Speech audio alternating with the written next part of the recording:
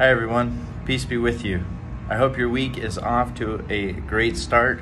We are continuing our series here, our Takeout Tuesday videos, uh, with the daily prayers and um, blessings.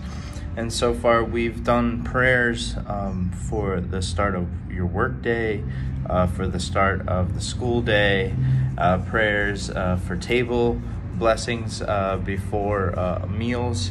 And this week, I want to share a prayer with you all um, for those suffering from addiction.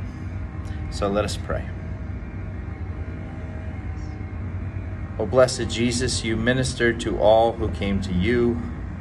Look with compassion upon all who through addiction have lost their health and freedom. Restore to them the assurance of your unfailing mercy Remove the fears that attack them. Strengthen those who are engaged in the work of recovery. And to those who care for them, give honesty, understanding, and persevering love. For your mercy's sake. Amen. We continue to pray for all those who are suffering from addiction of any forms. And um, if you are one of those people, please uh, ask for help.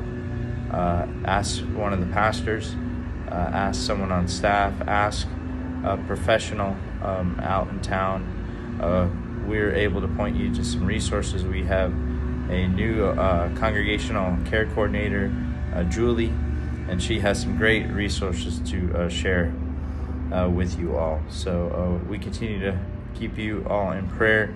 Hope you're having a great week. Blessings. Take care.